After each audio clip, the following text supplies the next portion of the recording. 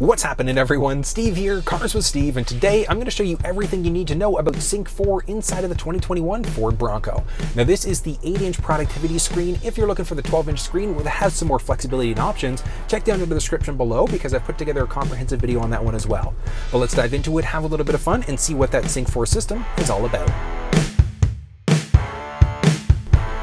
This is the Sync 4 media screen that's going to be standard inside of the Ford Bronco. Now, when we get into some of the higher packages, like the high and the Lux package, it's going to be a 12-inch screen instead with some added flexibility. Now, this specific one, we are on the home page and it does not have factory navigation, which if yours doesn't have factory nav, don't worry about it because we can use Apple Maps, Google Maps, Waze, etc. by connecting through Android Auto or Apple CarPlay. But basics, we've got our audio there, we've got our compass, as well as our phone. Let's actually go tab, to, tab by tab to kind of figure out and do a few and learn a few things. So starting off with our audio tab, we've got a few different options. So looking at sources, we can change between AM, FM, Sirius XM, Bluetooth audio. If we had a USB stick with MP3s, that would also work through this screen as well. Moving back, we can direct tune, so we can tune there. We've got a tuning knob a little bit further down as well, so we've got a lot of flexibility. And as you can see there, we can have a mix of AM, FM, Sirius XM, etc. And very simple, so we can direct tune there say 94.9. We're going to change the, I think I was already on 94.9 regardless, but we can easily change the station that way if we wanted to. In order to save a preset, all we're going to do is change to whatever station we want to, and then we're just going to press and hold, and the preset's now saved. So it's that simple.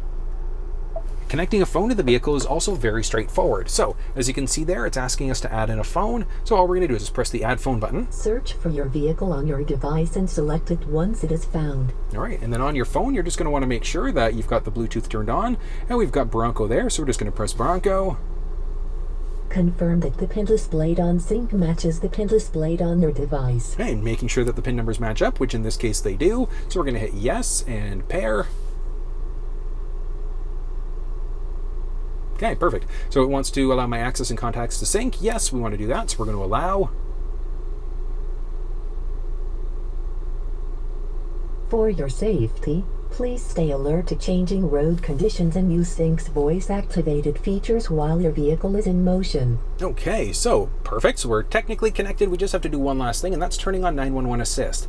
And the big reason why you want to do that is because if the vehicle senses a collision, it's automatically going to dial 911 for us to talk to the operator. Hitting finish there, we are now connected. And now next up, setting up Apple CarPlay, also very straightforward. So phone supports CarPlay, so in order to be able to connect it on the phone, we've got a message that pops up. So use CarPlay with Sync 4. So yes, we're gonna use CarPlay. All right, so device supports Apple CarPlay. So in order to be able to enable, we're just going to literally do that. So we're going to enable, and just a second there, three, two, one, and we are connecting and connected. All right, so CarPlay, and we are fully connected now. So as you can see there, we've got my Apple Maps, we've got Google Maps, and we've got Waze, and we can use all of these directly through this middle screen. So I love that flexibility. So if yours doesn't have factory navigation, don't worry about it because we do have the option of using Apple Maps, Google Maps, or Waze directly through this middle screen. We've got my messages, we've got audiobooks, podcasts, and a number of other options there.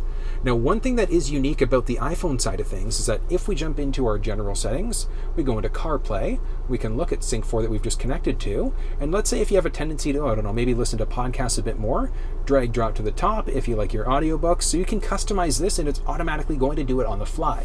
Now, if you've deleted some things accidentally, they do show up at the very bottom of the screen there, but we can also just do a reset at the very top and we can reset it back to our factory layout screen instead. Moving back again, we've got our basics. Now, if you want to jump out of this screen, we're just going to hit the forward button there, and that brings us out. So we're now out of it. We can jump back into either Apple CarPlay, Android Auto, etc. We can look at our app catalog, and we've got LiveXLive. So LiveXLive is a radio app, so we can use those apps directly through this middle screen, which I love that fact. So LiveXLive is one of them. I think Pandora is the other radio app that will work directly through this middle screen. If we want to be able to disable CarPlay, it's pretty straightforward. All we're going to do is go into our settings screen. We're going to go to phone list, We've got my phone that's connected, and we've got my CarPlay phone settings and things like that. So if we jump into phone settings for a second, that's where we can get into things like setting ringtones, etc. But everything here is actually grayed out, and the reason why is because we're connected to CarPlay. So if we disable that for a second, so we, we can reconnect if we want to, so we're going to connect to Bluetooth media,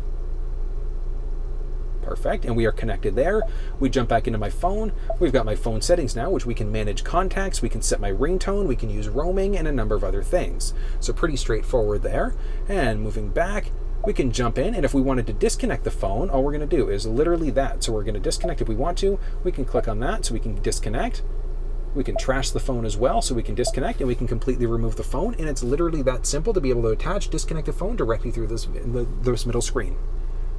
You know, connecting an Android device is literally the exact same process. So firstly, what we're going to do, we're in settings there, so we can literally add a phone from a ton of different spots. But at the Search end of the day, your vehicle on your device and select it once it is found. that's what we need to do. We need to press the add phone button somewhere. And then on our phone, all we're going to do is just pull up Bluetooth and we're just going to wait for the device to actually show up there. So same thing on the Apple side of things. We're just going to hang off for a second.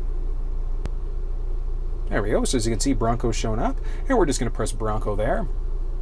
Confirm that the pin displayed on sync matches the pin displayed on your device. All right, and making sure that everything matches up there. So as you can see, the numbers do match up. So we're going to hit OK on the phone, and we're going to hit yes. All right, so allow For access. safety, please stay alert to changing road conditions and use Sync's voice-activated features while your vehicle is in motion. Thank you, car. All right, so as you can see there, device supports Android Auto, so we can simply enable it there. But on my phone, before we do that, it's asking do I want I want to allow access to my contacts? Yes, we want to allow to contacts and messages. And now supporting Android Auto, we just need to make sure we enable it here. All right, and Android Auto would like to, so we need to make sure we turn on Bluetooth to be able to connect. So just a second, and three, two, one, and look at that. We are now fully connected. So as you can see there, we do have maps. We can easily search for some things if we want to. We can do our basics for our settings as well.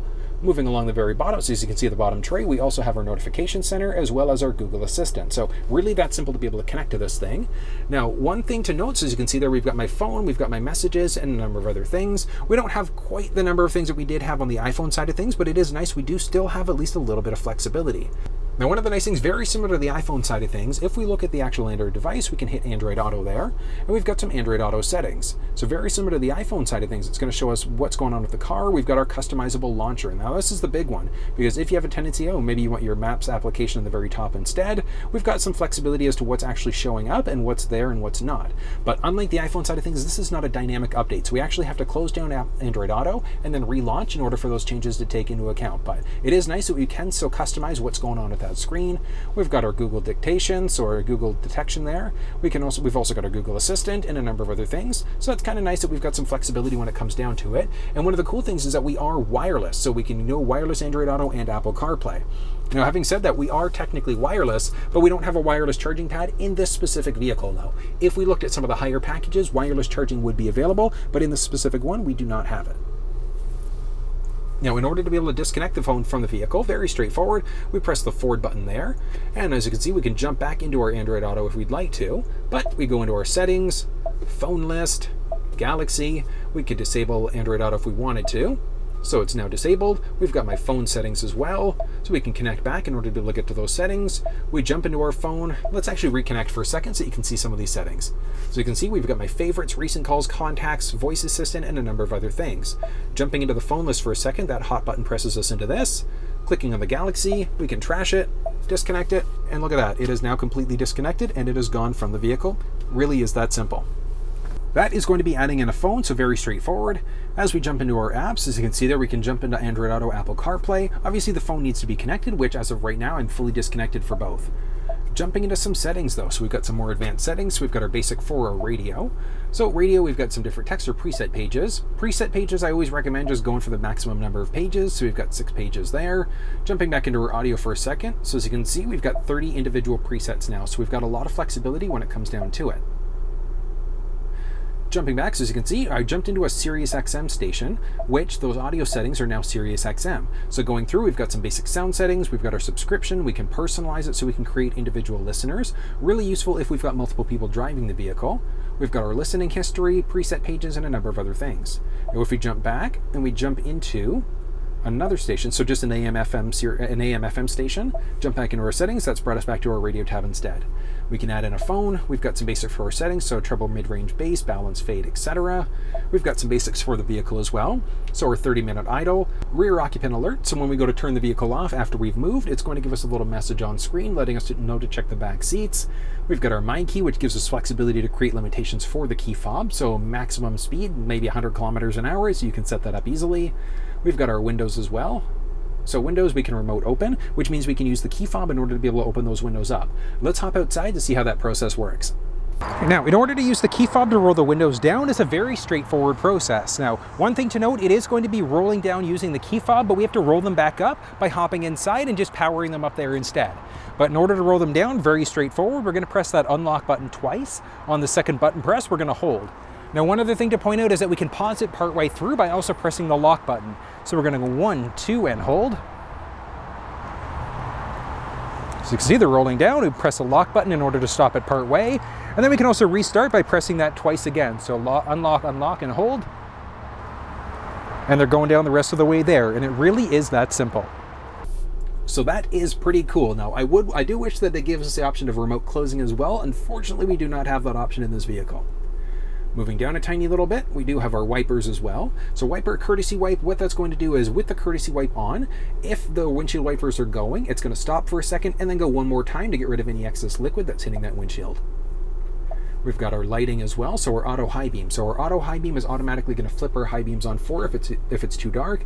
If it senses a vehicle oncoming, it's going to start dimming them, turn them off, and then bring them right back to life again. Our auto lamp delay, when we go to lock the vehicle, does, it, do the light stay on for 10 seconds, 20 seconds, 120 seconds? And then we've got some basic for our locks there as well. So our auto unlock, lock, mislock chirp. So mislock chirp is an interesting one because if the doors aren't completely shut, we go to lock it, it's going to give us a double chirp and letting us know that we haven't properly shut the doors. A remote unlock, so when we go to unlock the vehicle, do all doors become unlocked or is it just the driver's side door? And then moving back again. That's going to be the basics of the vehicle settings. We've got our clock, so we've got our hour and minute. We can go AM, PM. We can go to our 24-hour mode if we wanted to. General settings, quite a few options. We've got English, Spanish, French, Celsius, Fahrenheit, uh, PSI. We can, we've got that touchscreen beep, which if that beep drives you nuts, you can disable it if you wanted to. And if you're ever selling the vehicle or if it's giving you issues, you can just reset it to bring it back to our factory default again display. As big and nice and beautiful as this screen is, if you find it a little distracting, we can turn the display off if we want to, button press to bring it back to life, or we can go to a calming screen, so we've got our date and time instead.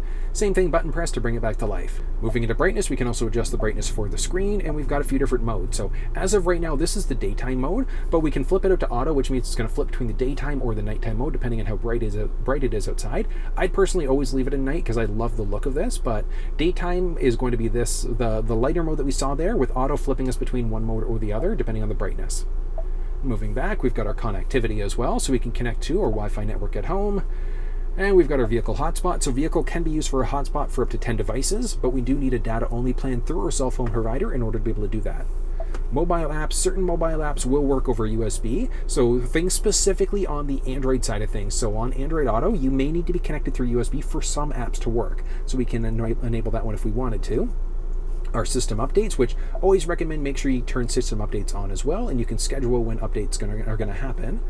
We've got our 911 assist, which we've already covered that one off, and then our valet mode. So valet mode, what that's going to do is lock the screen out. So we enter in a four-digit number, it's going to lock the screen out so that a valet driver, etc., cannot access anything that's in the vehicle. Moving into our features now. So one thing to point out firstly is our owner's manual. So everything is now digital. So that's one of the cool things because rather than having a printed manual, we can just go into the vehicle to figure out what those dash lights are instead. So really, really nice that we've got that option there. And it's going to show up in just a sec. So as you can see, we've got our categories, visual searches, and things like that. So a lot of flexibility. And then our driver assistance. So driver assistance, we've got our pre-collision assist. So pre-collision assist, what that's going to do is if it senses an active collision, it's going to let us know. And then emergency braking is automatically going to try to brake in order to ideally avoid the collision completely. We can turn that system off though if we wanted to rear camera delay, and then we've also got our hill start assist. So that's going to be the Sync 4 screen in a nutshell. So that is a pretty cool system, right? And it's very straightforward. But if you ran into any issues, drop down in the comment section below and let me know. More than willing to talk you through any issues that you might be having. If you enjoyed the video, give it a thumbs up, share it with your social networks. Until I see you next time, make sure you stay safe.